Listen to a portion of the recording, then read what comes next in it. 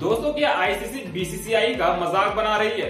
क्योंकि T twenty World cup 2024 में जो कि एवरेज स्कोर हमें नज़र आ रहा है, किसी भी पिच पर वो 110 120 नज़र आ रहा है। वहीं अगर आईपीएल की बात करें तो आईपीएल में जो कि एवरेज स्कोर हमें देखने को मिला था 2024 में, वो था 200 मतलब फ़र्स्ट हाफ़ में वहाँ पे 250 का स्कोर काफ़ी आसानी से टीम बना रही थी। वहीं अगर टी ट्वेंटी वर्ल्ड कप की बात करें तो यहाँ पे जो कि हाईएस्ट स्कोर जाता है वो हमें नज़र आता है किसी भी पिच पे, वो होता है 150 160 रन। अब कल एक मुकाबला हुआ जो कि भारत और आयरलैंड के खिलाफ मुकाबला हुआ। और भारत ने इस मैच में काफ़ी आसानी से जीत हासिल तो ज़रूर करी। बट पिच को देखते हुए मुझे तो एक बात समझ में आ गई कि यहाँ पे एक रन बना और मैच जीत जाओ। मतलब इस तरह की पिच यहाँ पे आईसीसी ने यहाँ पे तैयार करवाई है।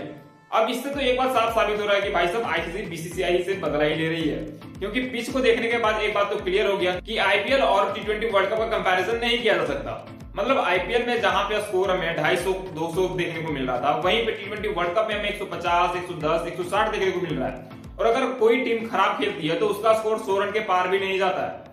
मतलब आप समझ लीजिए कि पिच का लेवल कितना गिरा दिया गया है टी ट्वेंटी वर्ल्ड कप में। ऐसा लग रहा है कि हम टी ट्वेंटी वर्ल्ड कप नहीं, बल्कि डब्ल्यू का कोई टूर्नामेंट खेल रहे हो। मतलब टेस्ट वाला फीलिंग ही आ रहा है यहाँ पे मैच देखने में। वहीं भारतीय टीम ने इस टूर्नामेंट में अपना आगाज़ कर लिया है और जीत के साथ किया उन्होंने आयरलैंड को आठ विकेट से हरा दिया। लेकिन इस मैच में भी हमें काफ़ी स्लो विकेट देखने को मिली। इस मैच में भारतीय टीम ने टॉस जीता और पहले गेंदबाजी करने का फैसला किया जो कि सही फैसला था। और भारतीय गेंदबाजों ने शानदार परफॉर्मेंस दी। हाँ इस मैच में अर्शदीप सिंह ने दो विकेट हासिल किए और उन्होंने चार ओवर में पैंतीस रन दिए। वहीं तीन ओवर में तेरह रन देकर एक विकेट मोहम्मद सिराज के नाम रहा। जसप्रीत बुमराह के नाम तीन ओवर में छह रन रहा और उनको दो विकेट मिले।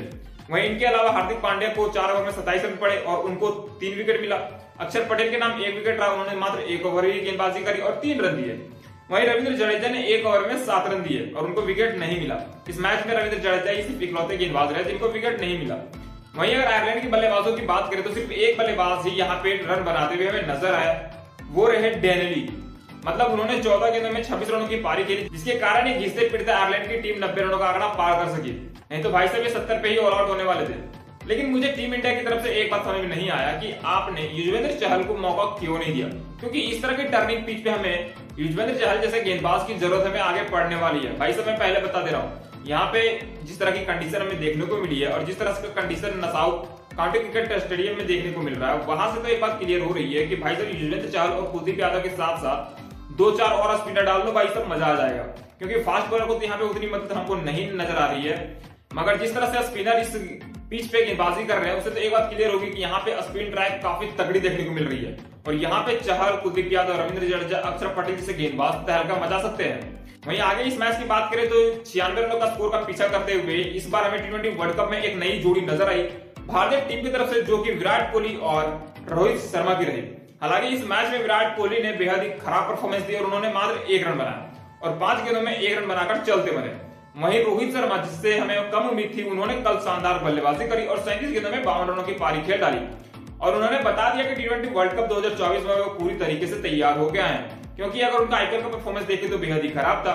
बट जिस तरह से उन्होंने टी ट्वेंटी वर्ल्ड कप के शुरुआती मैच में परफॉर्मेंस दिया एक बात तो क्लियर हो गया। इस बार टीम इंडिया विराट कोहली पर डिपेंड नहीं होने वाली है। और अगर ऐसा कुछ देखने को मिलता है तो हमारे लिए काफ़ी बेनिफिट होगा। वहीं अगर विराट कोहली की परफॉर्मेंस की बात करें तो विराट कोहली ने कुछ अच्छा खासा परफॉर्मेंस नहीं दिया कल के मैच में। बट हमें विराट कोहली पे पूरा भरोसा कि वो कि वो अगले मुकाबले में शानदार तरीके से वापसी करेंगे। और अगला मुकाबला जो कि भारतीय टीम को होने वाला है, वो किसी और टीम के साथ नहीं। भारतीय टीम की आर्ट्स राइवलरी पाकिस्तान के खिलाफ होने वाला है, जो कि 9 जून को खेला जाएगा। और भाई साहब, ये सिर्फ़ मुकाबला नहीं महा मुकाबला होने वाला है। और इसमें विराट कोहली का चलना तो लगभग तय ही होता है, क्योंकि विराट कोहली को पाकिस्तान बेहद ही पसंद है, खास करके टी फॉर्मेट में। लेकिन भारतीय टीम की तरफ़ से और जिन्होंने शानदार बल्लेबाजी कल करी, वो रहे ऋषभ पंत। भाई साहब ऋषभ पंत ने कल 26 गेंदों में 36 रनों की पारी खेली और उन्होंने बता दिया कि मिडिल ऑर्डर में सबसे भरोसेमंद अगर कोई है तो वो है ऋषभ पंत वहीं कल के मुकाबले में एक और बल्लेबाज ने निराश किया, वो है सूर्य कुमार यादव। भाई साहब सूर्य कुमार यादव को स्लो विकेट पर खेलने की उतनी आदत नहीं है, मैं आपको बता देता हूँ। टी ट्वेंटी वर्ल्ड कप को हटा दीजिए, अब आईपीएल में भी अगर ले लो, जहाँ पे पिच फंसती है, वहाँ पे सूर्य कुमार यादव रन नहीं बना पाते। इससे एक बात तो क्लियर हो गई है कि सूर्य कुमार यादव पर इस बार थोड़ा सा और भी ज़्यादा दबाव रहेगा। क्योंकि जिस तरह का परफॉर्मेंस हमें सूर्य कुमार यादव से उम्मीद है, अगर उस तरह का परफॉर्मेंस वो नहीं देते हैं तो भारतीय टीम के लिए बेहद ही नुकसानदायक होगा। और मैं चाहता हूँ सूर्य कुमार यादव बेहतरीन तरीके से वापसी करे और पाकिस्तान के खिलाफ एक बेहतरीन पारी खेले। अगर उनको मौका मिले तो। हाँ सूर्य कुमार यादव ने कल आयरलैंड के खिलाफ चार के नौ में महज दो रनों की पारी खेली और चलते बने। लेकिन इस मैच को भारतीय टीम ने काफ़ी आसानी से अपने नाम किया और आठ विकेट से इस मैच को जीतकर पॉइंट टेबल में पहली जीत अपनी दर्ज कर ली है। वही भारतीय टीम का अगला मुकाबला जो कि होना है, वो होना है पाकिस्तान के खिलाफ। और वहाँ पे हमें एक बेहतरीन परफॉर्मेंस की ज़रूरत पड़ेगी, जहाँ पे भारतीय टीम को एक टीम यूनिट की तरह खेलना पड़ेगा। दोस्तों, आपको क्या लगता है कि पाकिस्तान के खिलाफ होने वाले मुकाबले में भारतीय टीम की तरफ़ से कौन सा बल्लेबाज या गेंदबाज होगा जो कि ज़बरदस्त परफॉर्मेंस देगा? हमें कमेंट करके ज़रूर बताएँ और अगर आप चाहते हो कि पाकिस्तान को भारतीय टीम काफ़ी आसानी तरीके से हरा दे तो वीडियो को लाइक और चैनल को सब्सक्राइब ज़रूर कीजिएगा। मिलते हैं नेक्स्ट वीडियो में, तब तक के लिए जय हिंद।